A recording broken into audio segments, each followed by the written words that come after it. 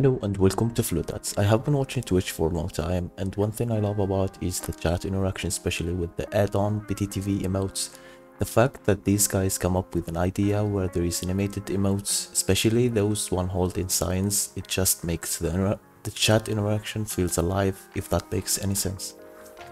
So for that I took a class by Claudio Salas called Animating with Purpose, which is the perfect course for this kind of stuff where the where he goes and break down more on the story behind the character and understanding the purpose for that character and how to apply emotions to it before you even start animating.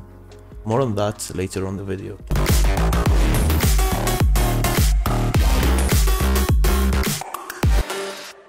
So I come up with this character that I designed on Illustrator and imported into After Effects. But first, this video is sponsored by Skillshare. Skillshare is a learning platform that offers thousands of classes from design to animation to 3D modeling and other stuff like marketing, business stuff. You can watch and learn and search classes based on your skill level that are made by professional teachers that are on the industry and one of the courses I learned a lot from and helped me on my workflow are flag animation by Laurentine Lernick and digital character illustration by Justyna Stasik.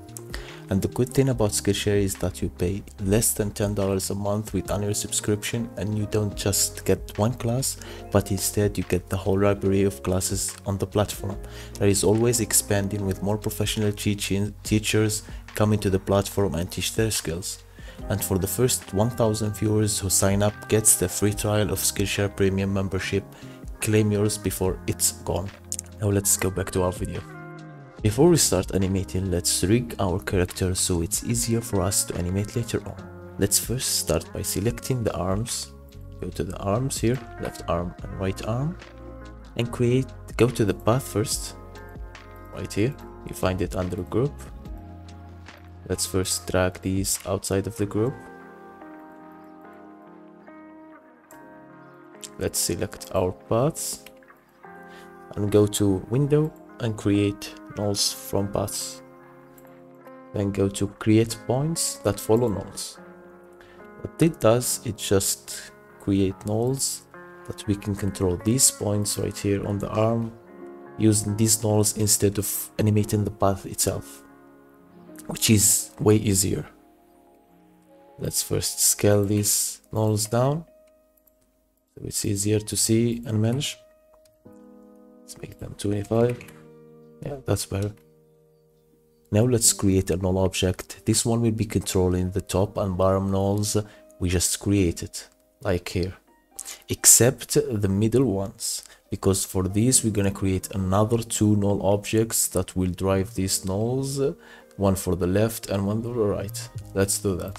First, let's create a null. This one, we're gonna put this on the middle. And we're gonna parent all these nulls to it.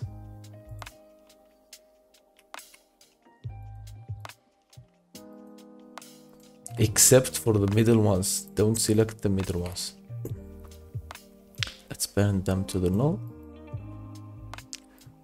so now we have this now let's parent the arm and fingers to it too gonna and also parent the sign and the text. To the null. So it all moves at once. We're gonna also parent the line of the head and the mouth to the head and then turn the head to the null. So everything moves smoothly together don't worry about this view because this character will not move right to left. We are only gonna be animating this up and down. Now let's create another two null objects. Let's call this left arm points and this right arm controls point then we're gonna scale these to 25 now we're gonna control the middle ones that we left. This one to the right, left, this one to the right. Now we're gonna that we have our rig already set up. So we can animate let's just test it out. Move this down and this gonna be moving right and left. Everything works fine. Now let's start animating and for that we are only gonna animate the nulls that we set up. So we can only use these instead of animating each layer by itself. Make sure to use this method to avoid repeated animating process so you don't have to do an animation multiple times. Instead we're gonna just focus on the nulls and for this we're gonna animate the position. Let's add the keyframe. Go five frames later and add the keyframe and go to the end and add another keyframe. For the big null here that controls everything from the arms and everything. We're gonna drag this down a bit.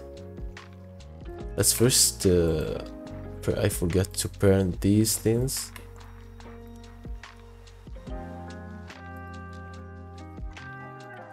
let's this down. And for these nulls we're gonna go for one two three to the left and one two three to the right.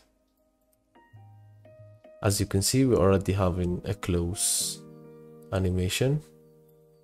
Let's just select all keyframes and right click go to keyframe assistant and easy ease that we make the animation more smoother but to make it a better animation let's go to the graph editor and drag these points to the right and the left. So you have a build-up animation then it goes to the top the peak as we say in animation then it goes down then it goes back to the peak and goes down. So you build up momentum to the animation. As you can see now it's smoother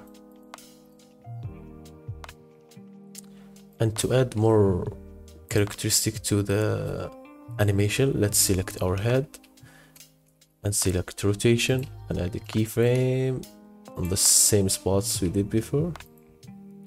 And we can rotate the head when it drops down to like 25 maybe maybe 15 it's enough. Let's easy ease this and do the same thing for the graph editor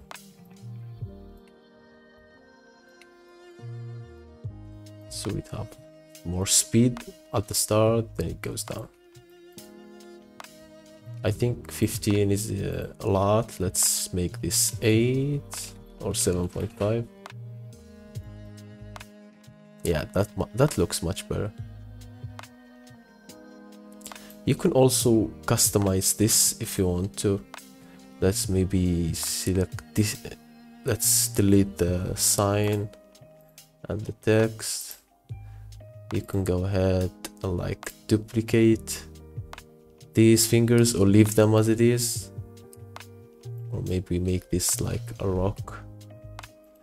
Rock and roll. Let's do that for now.